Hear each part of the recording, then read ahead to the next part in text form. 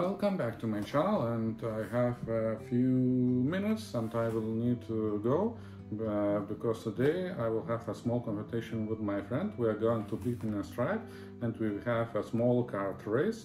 So this is not the first time when I'm going with the car. Uh, one day my friend asked if I ever tried this entertainment. I said no. So we went to the uh, Plytinę, we rent the cars and I was very slow but after finish I saw that uh, you can be much much faster.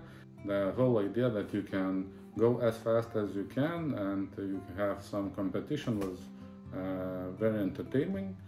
And I would try to remember the, my first rides. I remember this. And after few times I decided that it would be nice to have some video footage and I grabbed uh, my GoPro, put it on my helmet and after the whole race uh, we can sit with a friend and look at the footage uh, and see where we made mistakes and where we can improve.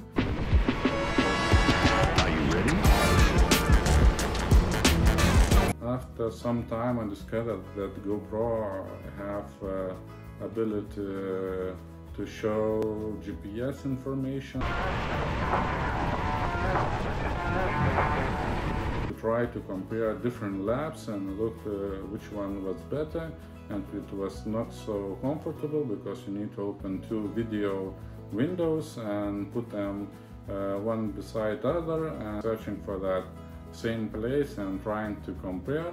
So after that uh, I begin to search for additional apps, uh, additional programs and I find, found this.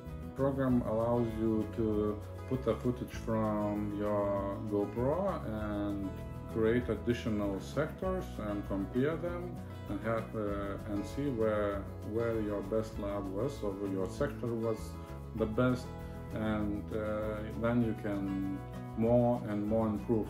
And uh, if we look at my statistics over time my time improved i'm becoming more and more faster.